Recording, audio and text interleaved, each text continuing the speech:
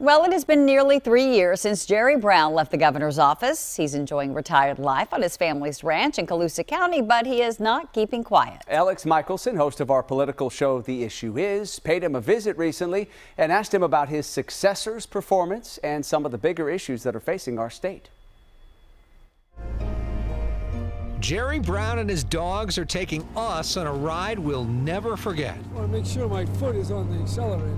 Like most of his life, Brown is pedal to the metal. So this is all your property when we look out? As he traverses up the mountains of his 2,500 acre ranch, about an hour northwest of Sacramento. And you feel totally at home here. Yeah, I do. I, I feel I have enough elbow room. I like that. exactly. On the day Gavin Newsom became governor in 2019, Brown and his wife Ann moved out of the governor's mansion and into a home they recently built here. They call it Mountain House 3. This is Mountain House 1.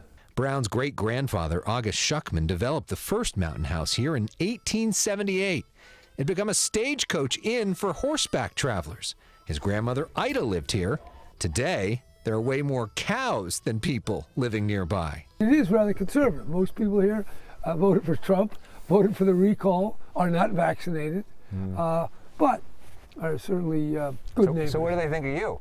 I, I don't ask them that, but they're very friendly. Almost all the power comes from solar panels. That's the well. All the water comes from a well and rainwater. 15,000 gallons. Brown living completely off the grid.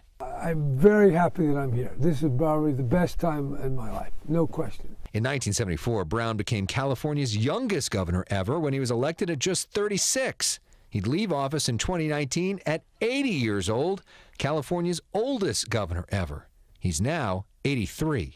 I know a lot now, you know, at 83 compared to what I was knowing at 38 right. running for president. Brown is concerned by images of rising crime in California. You feel like there are not enough consequences right now yes. for the crimes that are happening. That's what I think. You've heard about the redistribution of wealth.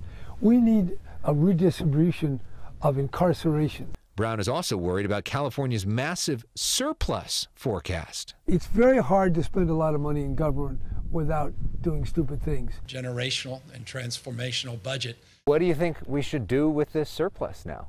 It's very difficult to spend money well, particularly when you know it's not going to be there in two years. I mean, we are going to, we have to be. That's the history of California. The money flows in and then it goes away. Arnold Schwarzenegger had a deficit of 60 billion.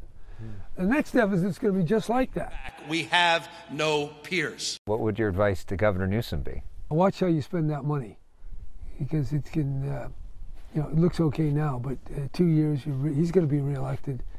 I feel confident about that, and then I think that second term can be can be difficult. Also, the longer you're in and the more exposure you get, the more they get tired of you. Brown is busy now as chair of the California China Climate Institute and chair of the Oakland Military Institute, which he founded.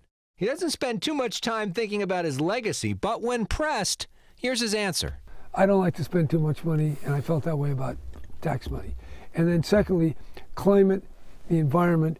California is a beautiful state, and to maintain the biodiversity, the beauty. Beauty showcased at this ranch. When you see this, yeah, what goes through your mind? Well, uh, a, I never could imagine this when my grandmother told me about it. I didn't know it was this beautiful, uh, or it, it's just a it's a it's a part of California.